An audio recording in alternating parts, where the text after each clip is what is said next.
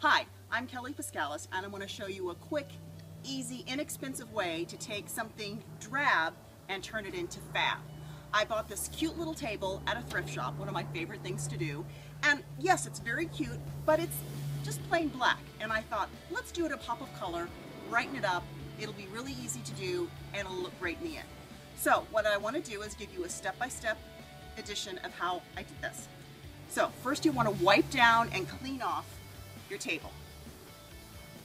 Then I took a screwdriver and made sure all the Phillips screws were tightened on the base.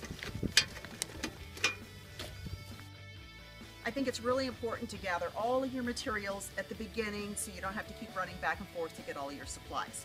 So what I like to do is find a nice spray paint that's good for indoor, outdoor, metal, wood, plastic, whatever. This is a metal table and I picked this really nice pop of color in the spray paint.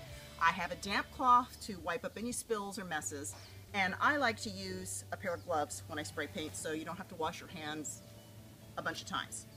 What I've done here to prep the surface on the ground here I put down a piece of cardboard and then I put some paper over it because I am spray painting outside to avoid fumes and so the sun will help dry the table quickly.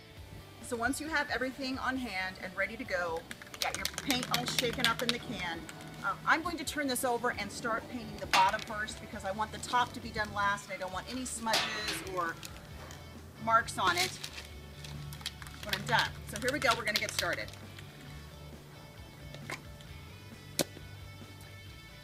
just like it says on the can, you want to do sweeping strokes and you don't need to over paint it or get it heavily coated this first round. I think a lot of shorter, lighter coats, letting them dry in between, work better.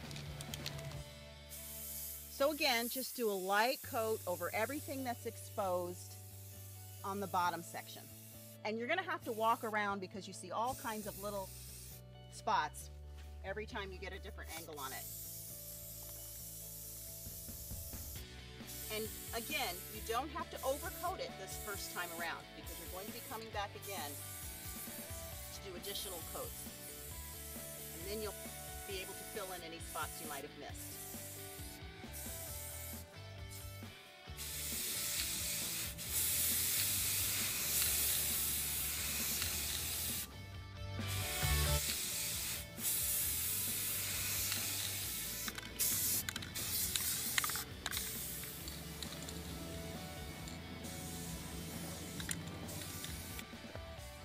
Okay, so the first coat is finished and it's already looking so much better than when I purchased it. So now I'm gonna go inside and work out, give this plenty of time to dry so I can turn it over and start the second process. All right, so it's about 45 minutes later and I can touch it and feel that it's not sticky or tacky, so I know it's dry, it's okay to turn it over.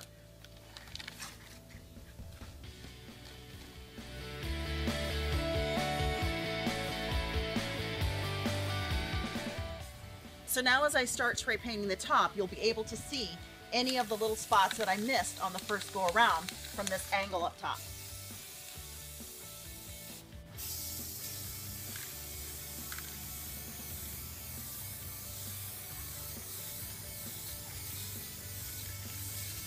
So here we are, just a couple of hours from start to finish. And is this the cutest table ever? Like I said, from drab to fab.